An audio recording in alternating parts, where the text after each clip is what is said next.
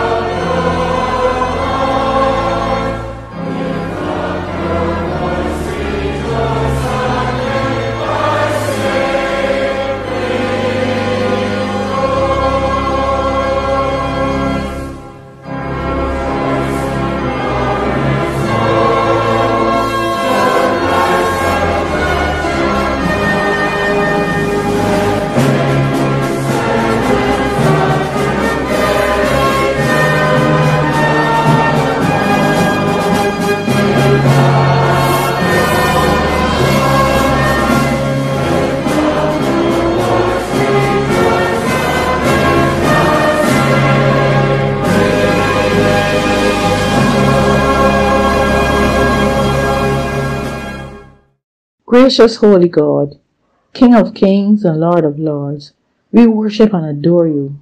We bless your holy name. Father God, you are mighty and matchless. You never failed us yet. There is none like you. We come in your presence, Father, acknowledging that we have sinned and fallen short of your glory. We ask you, dear God, to forgive us and cleanse us from all unrighteousness. We thank you, Heavenly Father, for sending your Son, Jesus Christ, today for our sins. We thank you for your grace and mercy. We thank you, Father God, for another opportunity to share in this fellowship at a time such as this. We thank you for the technical teams who make this possible because of the technical wisdom with which you have blessed them. We thank you, Father, for our bishop, ministers, pastors, laypersons, leaders, and all others who work tirelessly in keeping us connected to you and to each other. We pray for a fresh anointing over their lives in the name of Jesus. We pray that you will bless the one who will bring the message tonight and those who are taking part in the service. Also, those who are listening. We pray for those who would like to listen, but because of illness or other circumstances, they are unable. Father, touch them at their point of need in the name of Jesus. Father, we come against the spirits of discouragement, fear, uncertainty, hopelessness, and loneliness in the name of Jesus. We speak peace and love in every life in the name of Jesus. Help us, Father, to be rooted in you so that our faith will be strong. Help us to have that sustaining joy in you, Lord, so that our strength will rest in you. Father, uphold us in your righteous right hand in the name of Jesus. In spite of our circumstances due to the pandemic, Help us to trust you as we acknowledge and obey the protocols. Cover us with your precious blood of protection and let your Holy Spirit be our guide. Hear our cry, O God. Listen to our prayer. In Jesus' name and for his sake. Amen.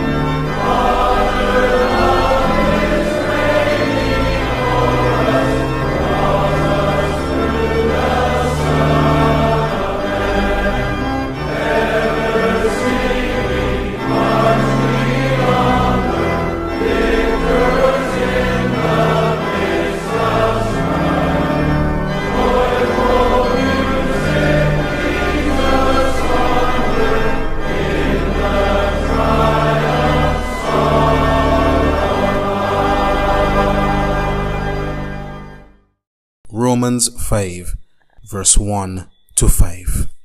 Therefore, since we are justified by faith, we have peace with God through our Lord Jesus Christ, through whom we have obtained access to his grace in which we stand, and we boast in our hope of sharing the glory of God. And not only that, but we also boast in our sufferings, knowing that suffering produces endurance, and endurance produces character, and character produces hope, and hope does not disappoint us, because God's love has been poured into our hearts through the Holy Spirit that has been given to us. The word of the Lord.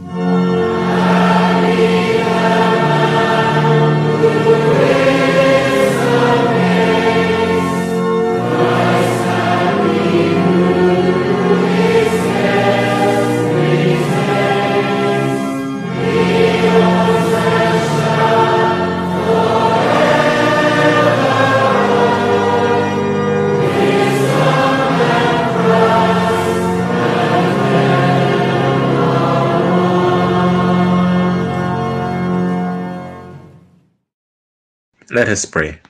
We gather tonight, Lord God, to worship you and to hear a word from you. We pray that your word to us tonight may lift our spirits and encourage us to renew our commitment to serving you and our fellow man. We pray in Jesus' name. Amen. Reflect with me for a moment on these words from Romans chapter 5 and verse 3. We boast in our sufferings. We boast in our sufferings. One hymn writer, describing the Christian experience, was moved to write, It is joy unspeakable and full of glory. Another, also reflecting on the relationship between God and the Christian, penned these words Joyful, joyful, we adore thee. And especially during the Christmas season, we take great pleasure in saying, Joy to the world, the Lord is come.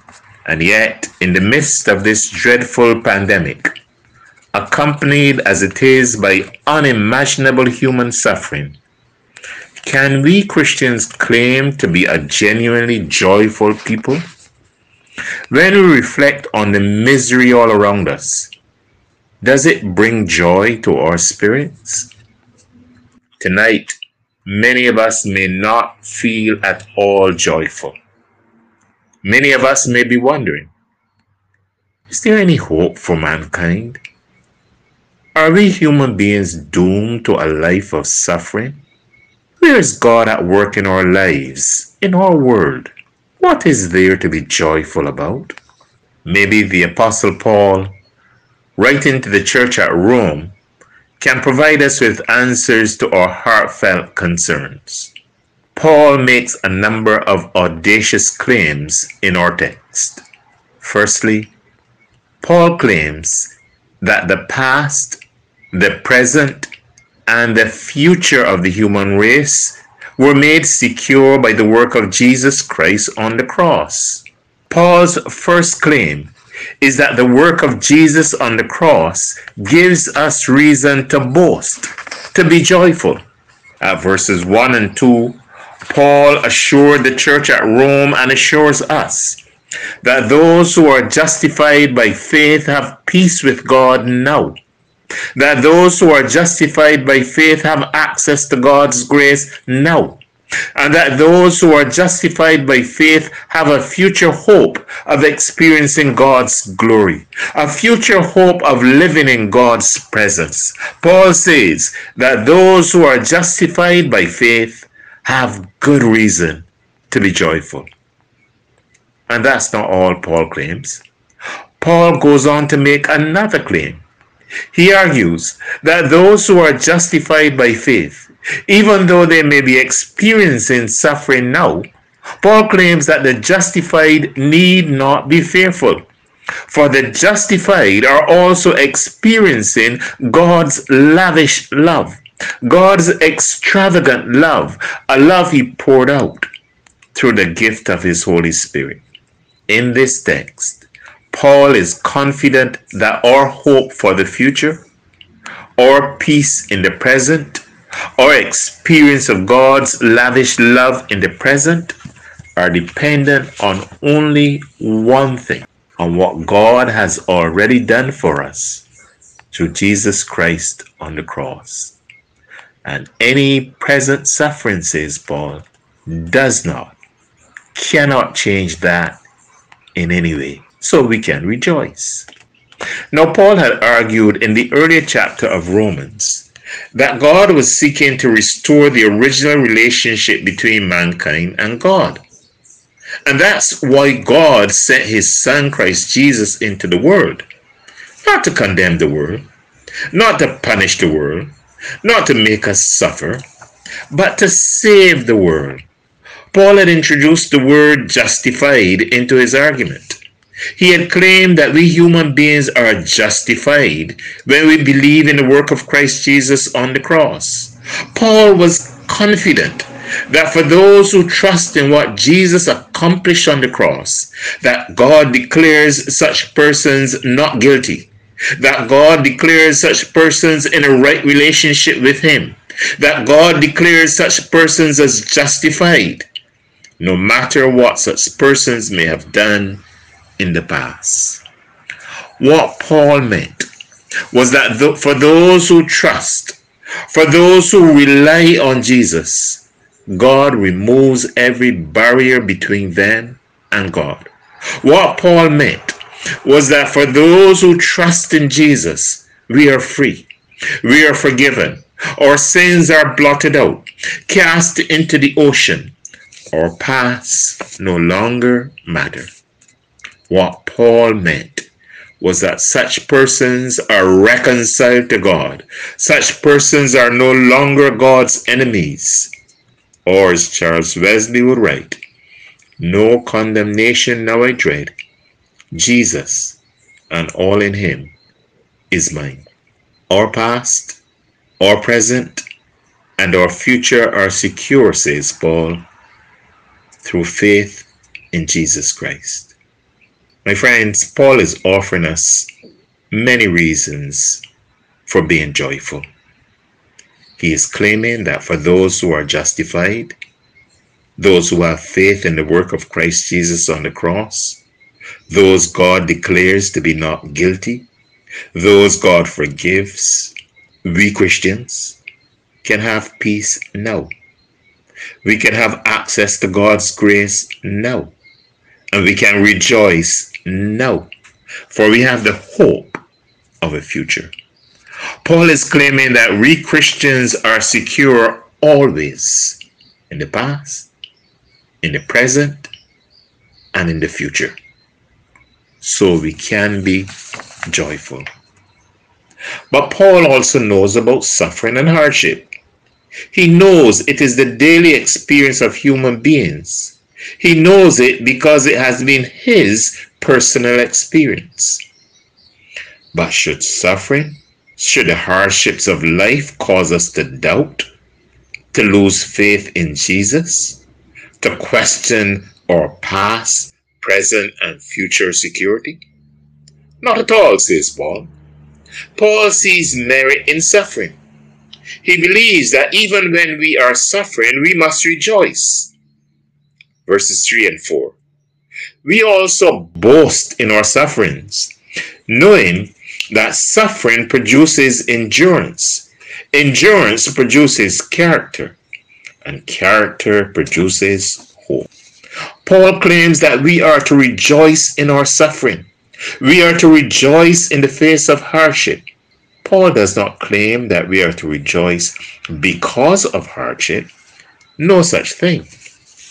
That would be the behavior of a deranged mind. No. What Paul is saying is that we are to rejoice even in the midst of suffering, that we are not to allow the suffering to squash our hope. And Paul tells us why. On the one hand, says Paul, suffering builds character. Listen to his words at verses 3 and 4. Suffering produces endurance Endurance produces character. Character produces hope. Helen Keller, who lost her sight and her hearing at 18 months of age, knew about suffering. And Keller, whose work as a social and political activist in the 20th century inspired many to overcome difficult circumstances, agreed with Paul. Keller once wrote, Character cannot be developed in ease and quiet. Only through the experience of trial and suffering can the soul be strengthened, ambition inspired, and success achieved. Adversity and suffering shape our character. That's one reason why Paul says we can rejoice in the midst of suffering. But it's not the only reason we rejoice in the midst of suffering. Paul also tells the Romans and us that contrary to popular belief, suffering and hardship are not signs of God's lack of favor toward us. They're not signs that we are in God's bad book. They're not signs that God does not love us. Like many of us, Paul wrestled with this matter of suffering. In the same letter to the Romans at chapter 8 and verse 35, Paul asks rhetorically, Who will separate us from the love of Christ? Will hardship, or distress, or persecution, or famine, or nakedness, or peril, or sword? In other words, does suffering mean that God does not love us? Paul's answer is a resounding no. At verse 37 of chapter 8, Paul literally screams his response to his own question. No, he says, in all of these things we are more than conquerors through him who loved us. Far from not loving us, God lavishes his love on us through the gift of His Holy Spirit. The gift of the Holy Spirit, God's promise to God's people, is the sign of God's love, even in the midst of suffering. In Paul's own words, at verse 5, God's love has been poured into our hearts through the Holy Spirit. In a world which appears to be in chaos, on the brink of collapse. Paul's words to us tonight are most reassuring. Paul is confident that we can experience peace now, that we can have access to God's grace now, and that we have an eternal hope of experiencing God's presence in the future. Furthermore, says Paul, we can rejoice in the midst of our present tribulation, for our suffering is shaping our character. And in the midst of our suffering, God's Holy Spirit assures us of God's love for us. Paul's assurances, however, are conditional. Paul's assurances are on the basis that we trust in the work of Jesus on the cross. For then, says Paul, we are justified. And since our past, our present, and our future are secure, we can be joyful even in the midst of adversity. Let us pray. Our hearts are filled with joy, loving God, because of what you have accomplished on our behalf through the work of your Son on the cross. May we walk in the assurance of your love trust in you for all that is to come. We pray in the name of Jesus. Amen. Everybody.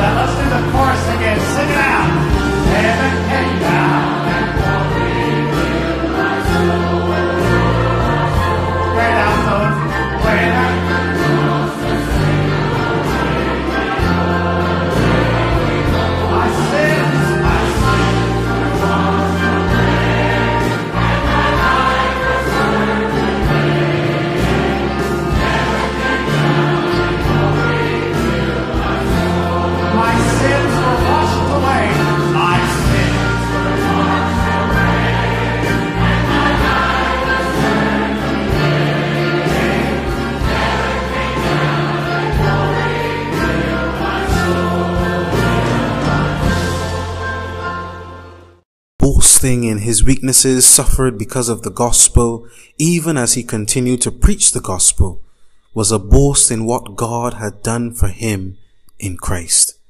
It was not a boast in himself. And his boast in his weaknesses is a boast in the gospel that brings the appropriate praise to God and not man.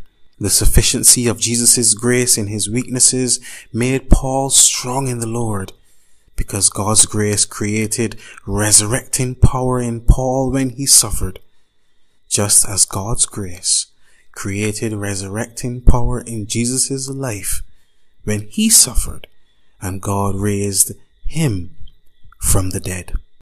Brothers and sisters, we have encountered the living God through the love of the living Christ.